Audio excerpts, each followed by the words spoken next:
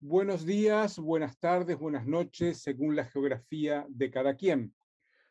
Hoy vamos a hablar de la situación internacional y de lo que yo entiendo que es una eh, creciente escalada de tensiones en dos frentes del mundo que pueden desembocar en guerras.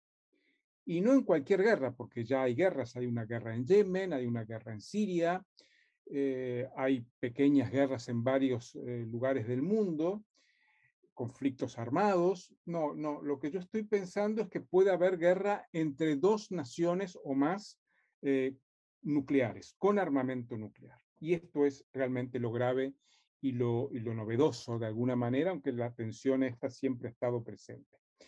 ¿A qué me refiero? Primer escenario es Ucrania. Eh, Ucrania era una, fue parte de la Unión de Repúblicas Socialistas Soviéticas, de la URSS. Con la caída de la URSS, Ucrania se independiza.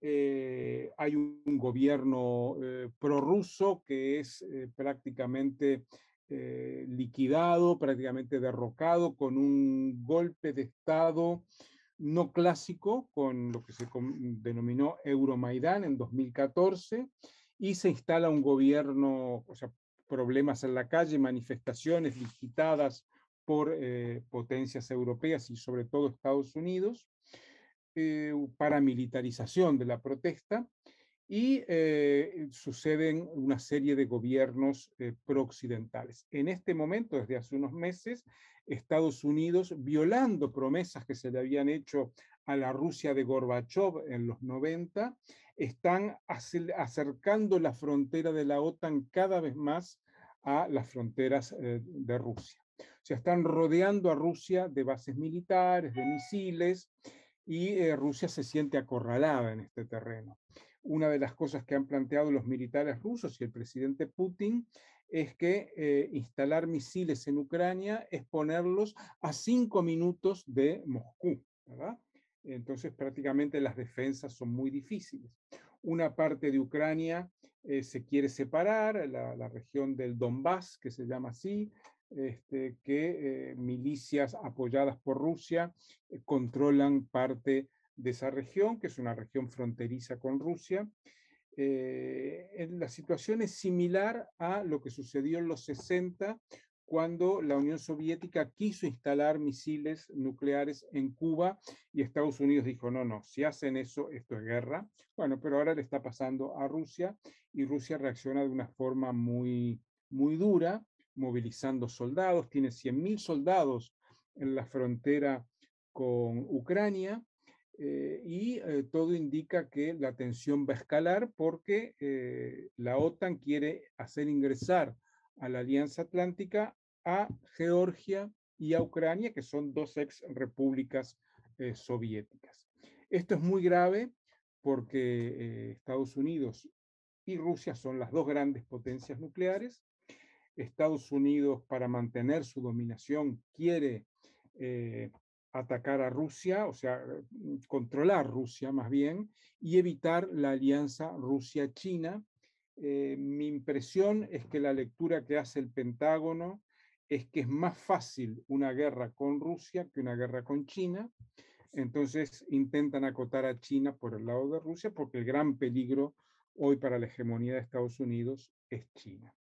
El otro escenario es eh, el mar del sur de China, que ya hemos hablado de esto en otros programas, y la isla de Taiwán, Taiwán fue parte de China toda la vida, pero cuando triunfa la revolución socialista encabezada por Mao Zedong y el Partido Comunista, el Kuomintang, o sea, los nacionalistas se refugian en Taiwán y eh, hoy en día es un baluarte, una isla fortificada a favor de Occidente.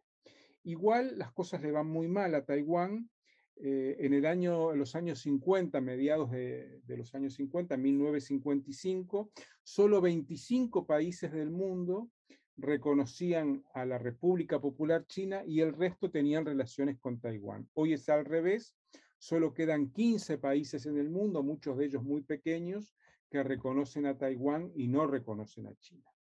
Y la idea de China es que hay una sola China, eh, esto es consenso en la mayoría de los... Eh, de las instancias internacionales, pero Estados Unidos quiere hacer de Taiwán, que está muy cerquita de China, ustedes lo pueden ver en el mapa, un eh, espacio para controlar, atacar, cercar a China. También la idea de Estados Unidos es cercar a China con esta alianza que se llama AUKUS, en donde están Australia, Nueva Zelanda, Japón, la India, como ven, todo un dispositivo alrededor de China.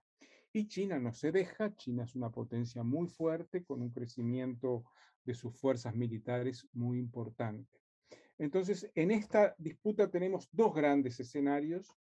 Quiero decir que el cambio respecto a la Guerra Fría es el siguiente. En la Guerra Fría había una paridad nuclear entre Estados Unidos y la Unión Soviética, de modo que ninguna de las dos se podían atacar sin provocar un holocausto nuclear, sea, la desaparición prácticamente del planeta.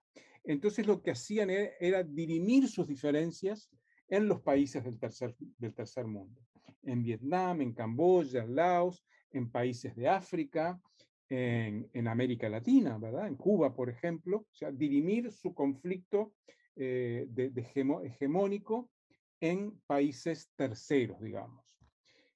Pero hoy no. Hoy lo que está en disputa es directamente la hegemonía Estados Unidos-China, Estados Unidos-Rusia. Por eso me parece que eh, es mucho más grave. No hay mecanismos de intermediación viables, no hay voluntad de diálogo y esto me parece que es muy grave. Y creo que la principal responsabilidad de ello es de los Estados Unidos y del sector de los Estados Unidos que se llama el Estado profundo, el Deep State, que controla estos mecanismos. Entonces es una alerta, es una llamada a seguir un poco las noticias y los análisis, sobre todo en el escenario internacional, porque si realmente se produce un conflicto entre dos grandes potencias, sea en Ucrania, sea en Taiwán y en el mar del sur de China, el resto del mundo estaríamos en una situación muy comprometida. Eh, no creo que se pueda dar un conflicto de esa envergadura eh, excluyendo totalmente el uso de armas nucleares. Ahora se está hablando de armas nucleares de mochila, ¿verdad? O sea, pequeñas armas nucleares que no destruyen toda una ciudad, pero sí tienen capacidad destructiva de, de zonas importantes de, todos modos, cuando se empieza a usar un arma de este tipo, nunca se sabe cómo pueden terminar las cosas. Muchas gracias.